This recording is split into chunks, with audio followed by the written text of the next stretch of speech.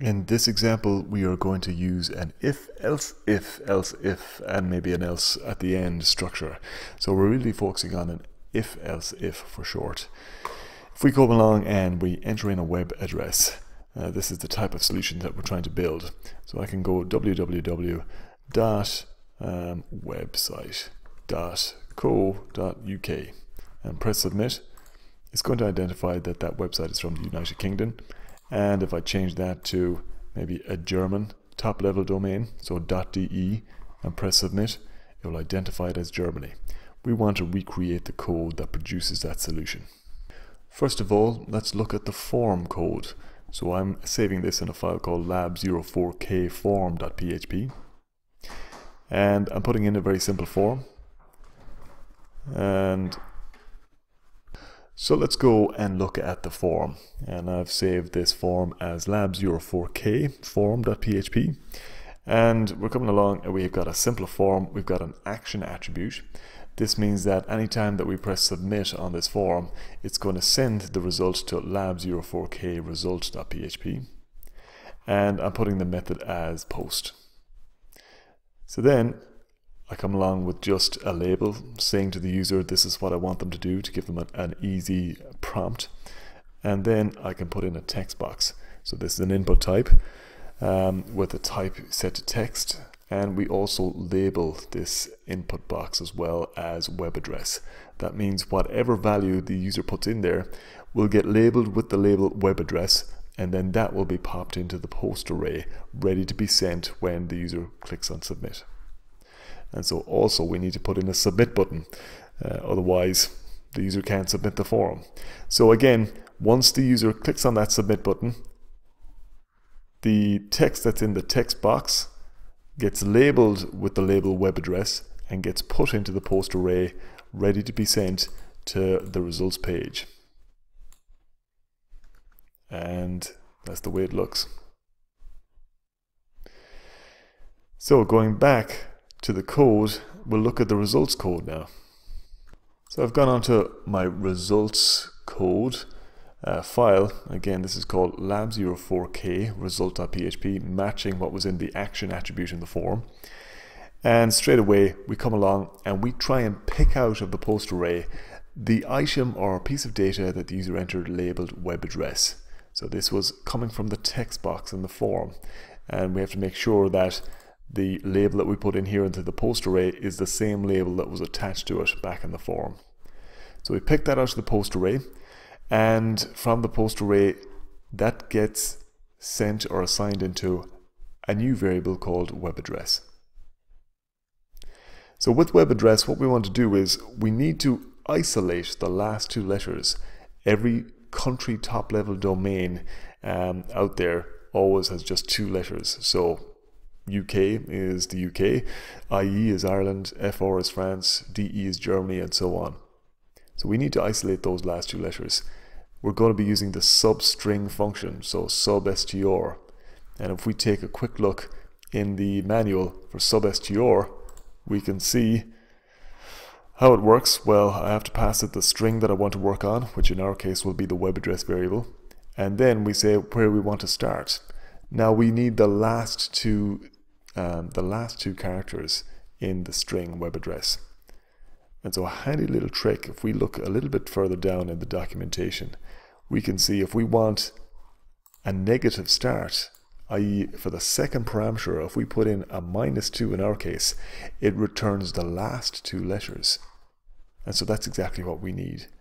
So that's a handy trick with substring that's not immediately obvious when you're using it. So if I go back to my code and I just do exactly that, call the substring function, pass in web address as the first argument, and then put in minus 2 as the second. That will give us the last two letters of whatever the user has put in in the text box labeled web address. Taking those two letters, we assign them into a new variable called TLD, just something that I picked out, obviously standing for top level domain. Next thing that I want to do, I want to go into my if else if type of structure. And I want to start testing those last two characters and see if they match the different characters of different country top level domains. So I'll start with IE. So I'm calling an if statement, round brackets, and inside those round brackets, I'm going to put in some kind of comparison that I'm going to test. And so I'm testing the condition if $TLD is equal to the string literal IE. If that is true, what I want to do is I want to echo out the string literal Ireland. What happens if this condition returns false? If that returns false, then it can skip on to the next part of the code. If I don't have any other else or else if, it will just skip on to the rest of the code if there's any there. But in our case, what we want to do is we want to have an else if. So else if can either be written apart or can be written together. It's identical. And so in this case, I'm putting in else if $TLD is it equal to UK? If that's the case, I want to echo out United Kingdom. And I can keep on going through the process of else if after else if after else if. And I'm testing a condition every single time. If any of those different conditions is true, it executes that code in that part and then skips over the rest. But if they remain to be false, if they keep on producing a false condition or a false outcome, it will keep on testing all of the conditions down from that. So I'll keep on going here. Else if $TLD is equal to FR, dollar TLD is equal to DE, dollar TLD is equal to PL for Poland, and you can see the way that is panning out, so I'm testing each and every one of them.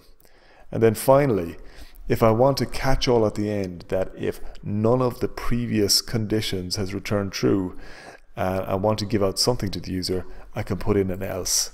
And else doesn't have any condition along with it. It's like that catch-all failsafe at the end, that if all of the others have failed, this is what I want you to put out and I've got this not a recognized top level domain.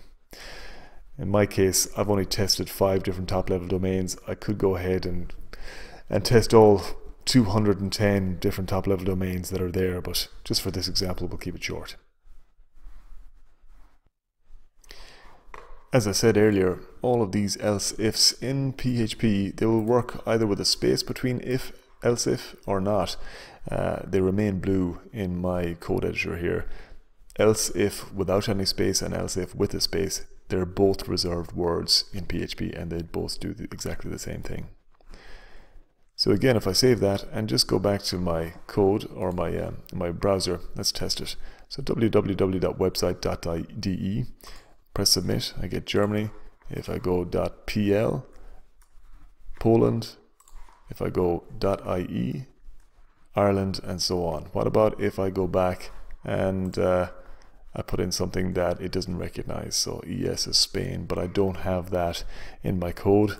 Well, not a recognized top level domain. And that's a simple example of an if, else if, else if structure. And we're also using a substring function in PHP as well. If you want to see another example of an if, else if structure, Uh, look up at the card on the top right hand of the video and click ahead into one of my other videos. Don't be afraid to like and please subscribe. Thanks.